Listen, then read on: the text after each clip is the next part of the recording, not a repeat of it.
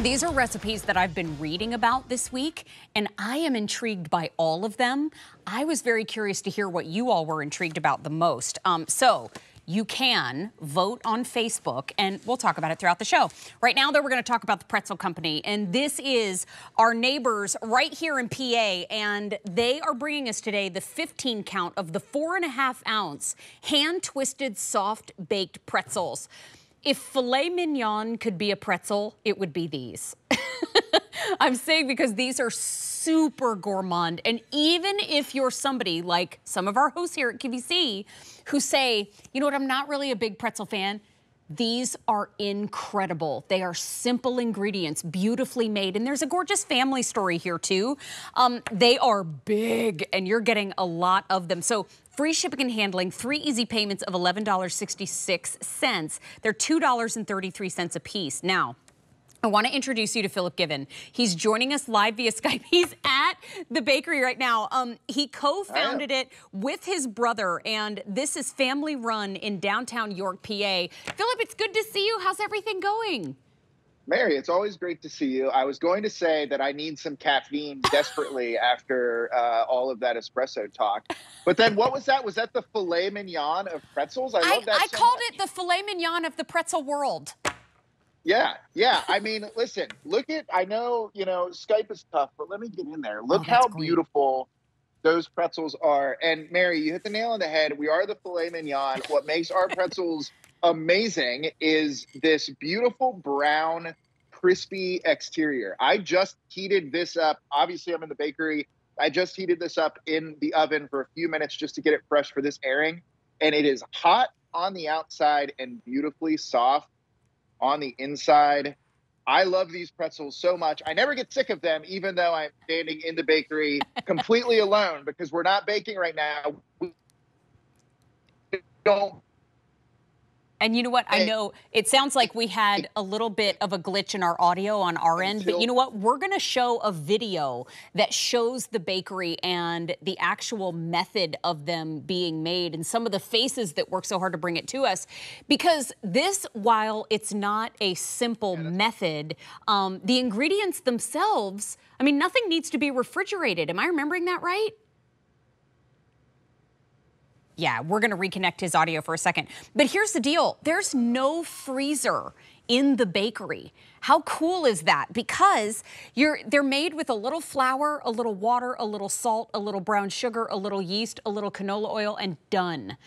The beauty is in the method. These are hand twisted. We just got them back in stock. I mean, the fact that we can order them today and we can enjoy them leaning into the fall.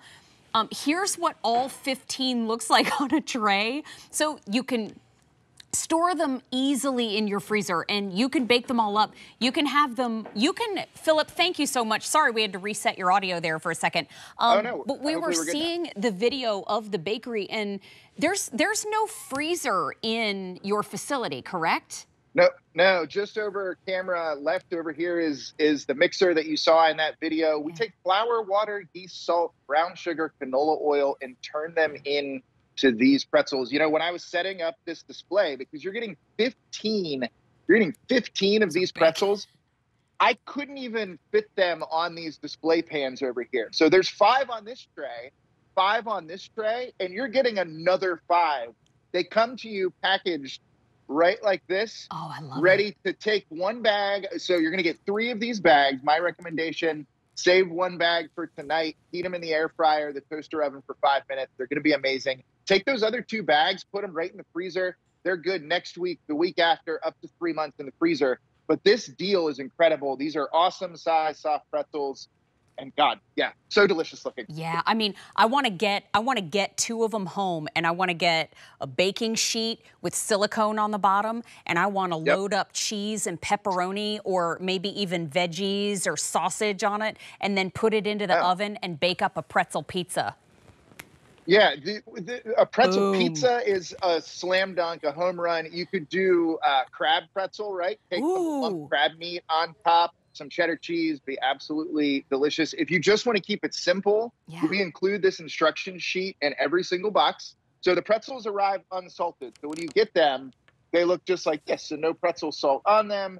And then you're just going to heat them up in the air fryer or your toaster oven or your conventional oven for five minutes until they are crispy on the outside and beautifully hot on the inside. You know, when they arrive, do they arrive ambient temperature or do they arrive frozen? What do they what do they like? I love I love that they're in the bag, but what do I need to do yep. when I get them home? Yeah, so you're going to get three of these bags, okay. and remember, we have no freezer here. So uh, if you're if you're sitting at home right now, I'll tell you exactly how this is going to go.